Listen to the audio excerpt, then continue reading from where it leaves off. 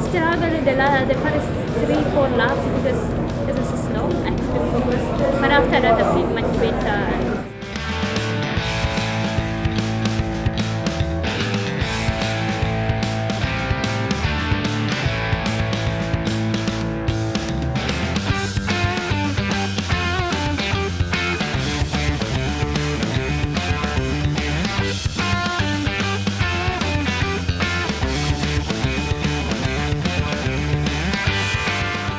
Five laps to go, I just felt like I'm feeling good. This is this Yeah. is it, kind of thing. Right. Might as well try. But if I um, if I die a little bit, hopefully I still get the time.